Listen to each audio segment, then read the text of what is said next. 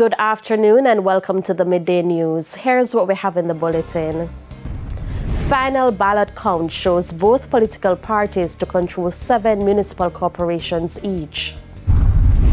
Political commentator cautions Prime Minister not to call general election just yet. And later in sports, Jamaican athletes begin medal hunt at World Indoor Championships in Scotland. Thank you for joining us. I'm Shamela Pullen. Here are the details. After days of counting, the Electoral Office Commission of Jamaica ECJ has announced that both political parties will be in control of seven municipal corporations each. The ECJ says while counting indicated that the Jamaica Labour Party won seven municipal corporations to the PNP's five, a tiebreaker in the KCMC along with the Portmore mayoralship has leveled the tally. The Kingston and St. Andrew Municipal Corporation is tied to 20 seats each, but the PNP won the popular vote in Kingston and St. Andrew and so will take up the mayoral position. The PNP also won the position of mayor of the municipality of Portmore and the popular vote island-wide.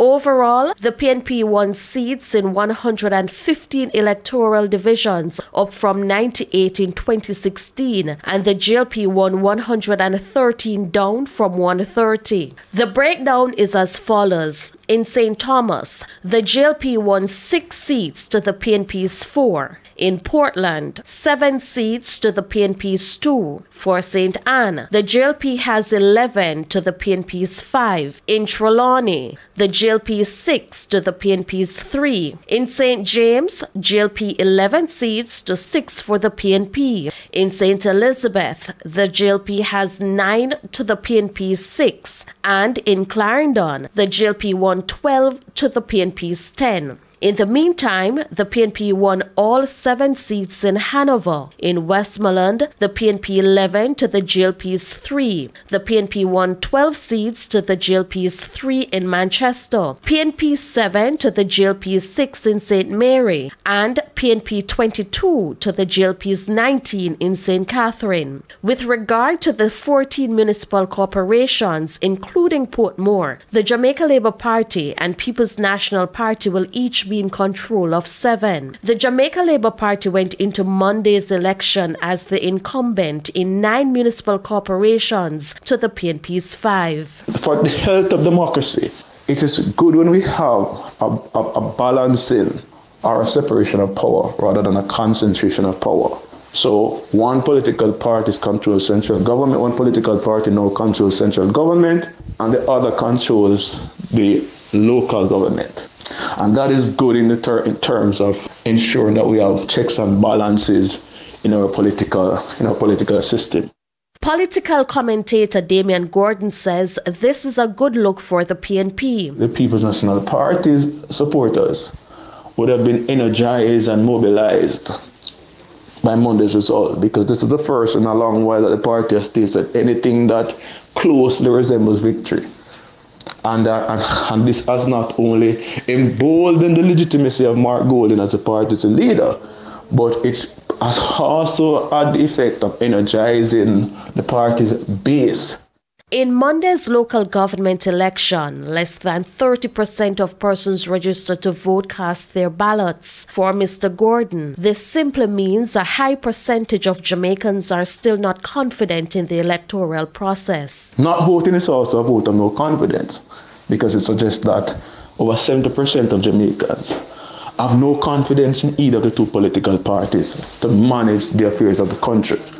And that is certainly bad for democracy because it brings into question the legitimacy of any elected government because it means that the government is elected with lower levels of public support. So that is a concern, a serious concern that has to be addressed uh, by, by both political parties. A political commentator is cautioning the Prime Minister about calling the general election soon. According to Paul Ashley, now is not the time as there are a number of issues that need to be addressed first. Mr. Ashley was speaking on Power 106 Friday. Amoy Harriet reports. There have been speculations as to whether Prime Minister Andrew Holness will call a general election in the wake of the local government poll in February. The general election is constitutionally due in 2025, but the Prime Minister may call it before that time. However, political commentator Paul Ashley doesn't think now would be a good time for Mr. Holness to call the election. The Prime Minister has to do certain things and he has to use the time to do certain things. He cannot go to the uh, general election right away. He will. The PNP has the momentum in that they have energized their base. There's no doubt about that. They have re-energized energized their base. They are. They figure they are uh, on a roll that they will take the general. Mr. Ashley says the Prime Minister made certain promises when assuming political office that need to be fulfilled. For example, the fixed election date. This is a low hanging fruit that he could pick, and I would suggest any time between August 1st and August 6th that Jamaicans in the diaspora could come back home and vote. He also made a promise that he would ensure that Jamaicans are the only persons in Parliament. That also is a low hanging fruit that has the support of both sides. And then the impeachment of politicians. I think that the civil society really is pressing for that. And that is a relatively low hanging fruit at this time because both political parties will gain kudos from cooperating with that. Mr. Ashley also says Mr. Holness made a commitment to the Jamaican people about road and water that he needs to deliver on before calling a general election. If his administration does not perform well in the roads and the water, the electorate is not concerned about which uh, arm of the administration will correct these problems. They are concerned if it is the local government or the central government. They want roads, improved roads and water. I, I for one, believe that uh, the Prime Minister should revisit the Ombudsman submergence. Uh, the ECJ cannot deal with it, especially during this year when the stakes are higher. Amoy Harriet, TVJ News. Prime Minister Andrew Holness says the focus of the Jamaican economy continues to be on growth and development. Despite the challenges affecting the health sector, Mr. Holness insists that the sector continues to thrive in many ways. According to Prime Minister Andrew Holness, in 2023 alone, the government increased the drug subsidy for over 350,000 active National Health Fund NHF beneficiaries. Mr. Holness says this is in addition to the fact that there are over 21,000 beneficiaries of the Jamaica Drug for the Elderly program, JADEP. Further, the NHF instituted a $1,600 subsidy for a one prostate specific antigen test, a PSA test, per year to benefit and encourage more of our men to get tested for prostate cancer. That's a new benefit that we have, we have, we have added. He says 22 conditions are now covered under the NHF. This represents an estimated 450 million in additional subsidy, which will benefit some 40,000 Jamaicans. 10 new medications are now available under the benefits program. In addition, the NHF has assigned 61 contracts, valued, assigned rather, 61 contracts valued at $27 billion for the procurement of essential drugs under the 2023 to 2026 Pharmaceutical Awards Program. Again, the caring economy. Mr. Holness also points to the new digital system for health records that was recently implemented, which will ensure that the access to health records, the ability of doctors to properly look at the data and to use that data and information in the diagnosis and service, that that has been increased. Mr. Holness was speaking at a function in Manchester on Thursday. Over $350 million has been spent to boost the fisheries sector. Agriculture and Fisheries Minister Floyd Green says several stakeholders will benefit from it. Karen Simpson reports. We apologize for that. It's time for a break. Stay with us. More stories when we return. Welcome back to the Midday News. Measures are being put in place to eliminate lottery scamming in the business process outsourcing, BPO sector. With over 60,000 Jamaicans across eight parishes being employed to the sector, officials say several incidents of lottery scamming have been reported among the employees in recent years. The Global Services Association of Jamaica told TVJ News that the Criminal Act increased during and after the COVID 19 pandemic. It has since subsided to an extent, but more still needs to be done. Private security companies coming up with solutions uh, that will that has given me some sort of assurance that in about six to 12 months we should be in a better place in identifying, deterring, and finding these people so that they do not um, continue to make violations and, and continue forward without any consequences. In the meantime, he believes local companies should take the issue of cyber attacks more seriously. I cannot emphasize how important it is to understand data security in depth and have the right processes and protections in place and to be compliant even the best of the economies, brightest of the Fortune 50 companies get cyber attacks, right? Um, so not taking any action is is going to hurt the company and the reputation.